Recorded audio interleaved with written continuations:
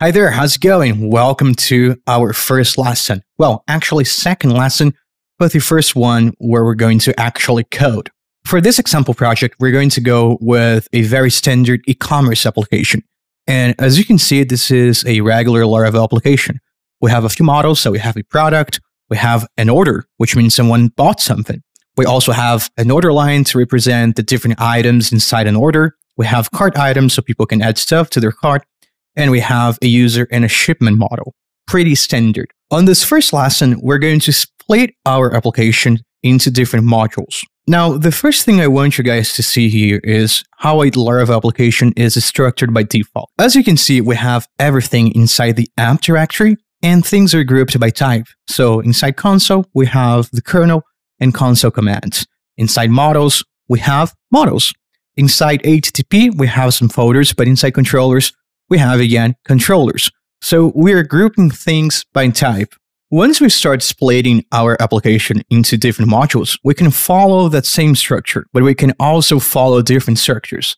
Maybe we want to follow a domain driven design approach. Maybe we want to go with clean architecture. Those are all valid choices. And the reason I'm saying this is because when we talk about modularization, you will often find that conversation alongside domain-driven design, clean architecture, ports and adapters, etc., etc., etc. So this is not the only way to organize your application, even though it is a fantastic way. Never mind, let's start splitting our application. Before we do that, let's take a look at the Laravel framework project on GitHub.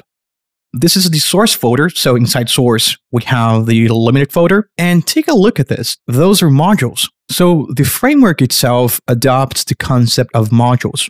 We have a mail module, we have a queue module, we have a Redis module, and those modules talk to each other. For example, a queue might use Redis as a driver, so it will communicate with the Redis driver. And it does this usually through contracts or events. And we're going to cover this later on the series. I just wanted to show you this to see that modules are not something out of this world. They're pretty common. We often do them without really realizing we're working with modules. And the Laravel framework is a great example of a modularized, well, not application, but a modularized project. Let's go back into our project. So I wrote down some of the modules I could think of. We're going to have a product module, which is going to have the product model and the cart item model. We're going to have an order module, which is going to have the order model and an order line. And this order module is probably where we want to purchase our items. This is where we're going to handle payment, etc., etc., etc. We're going to have a payment module, which is only going to have the payment processor, at least for now. And then finally, we're going to have a shipment module, which is going to be responsible for processing those shipments. The first thing I'm going to do is I'm going to create a new directory. If you ever look for content about modularization, you will notice that people usually refer to this directory as source, denoted as SRC, or modules. Some packages also name it app modules. For this course, we're going to go with modules. There we go. Now, I want to create some folders inside this modules directory, one for each one of the modules. So I'm going to create a product module, an order module, a payment module, and finally, a shipment module. Now, you might be thinking, you just have to drag and drop those into the modules, right?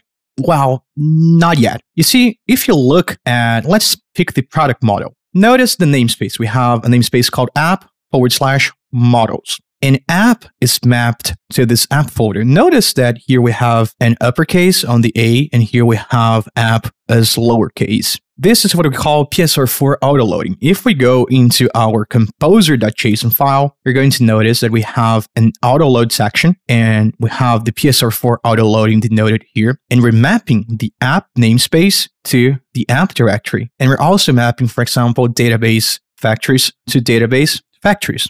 So what we want to do before we do any of this is we want to add a new namespace. We're going to call it modules and we're going to map it to the modules directory. Once that's done, we want to run composer du. That's the shortened version for dump autoload. And what the command does is it regenerates the composer autoloader. Okay, now PHP knows that it can load classes from this modules directory. Now we can finally drag and drop those. For this course, we're going to follow the standard Laravel structure. So we're going to group by type inside those modules. I'm going to create a models directory for each one of those. There we go. And now I can simply drag and drop those. And as you can see, PHP Storm automatically updates the namespace based on what we have configured inside our autoload section on composer.json. I'm going to do the same for the other models. Okay, there we go. So now we have four modules. They only have a models directory, but we managed to split our application a little bit. Now, going back to the autoloading piece, let's go into Tinker real quick. And I'll try to instantiate one of those classes. Let's try this one. So I'll say new, modules, order, models, order. And as you can see, we get an object. Now, if I were to go into composer.json and remove this and dump the autoloader, Let's go back to Tinker. If I tried to instantiate it, the class was not found. So it's important, it's imperative that you map your modules directory to the modules namespace. Let's dump the autoload once again. Let's go into Tinker. And there we go. We can instantiate it. So this is the first step. It is splitting your application, figuring out the different modules, and you don't have to be extra precise here. You can always create submodules in the future or extract a set of functionality into a different module. Don't worry so much about it. This is also something that can be done incrementally if you're working on an existing application. You don't have to split your entire application. Maybe you can get a complex feature and extract it to its own module, or the next time you're building something new, you can build that inside a new module. That's one of the great things about modularization. You don't have to follow the same strategies for every module. So remember when I talked about domain-driven design, clean architecture, etc. That's the beauty of it.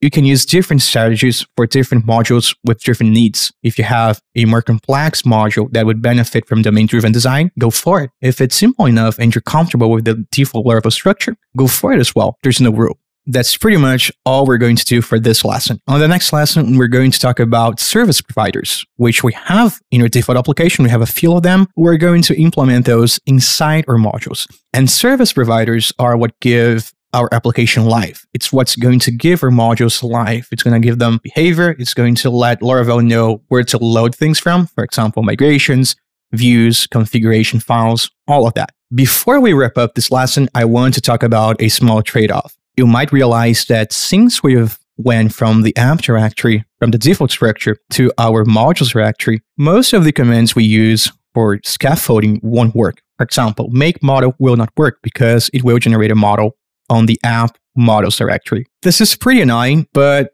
fear not. There are packages that handle modularization and they will give you those commands back again. For the majority of the course, we're going to do things manually because the purpose of this is for you to learn new things, but at some point, we're going to cover those packages and I'll teach you how to use them to have more productivity. So you're not going to lose those commands. Don't worry about it. All right, that's pretty much it for this lesson. And I see you on the next lesson to talk about service providers. Bye bye.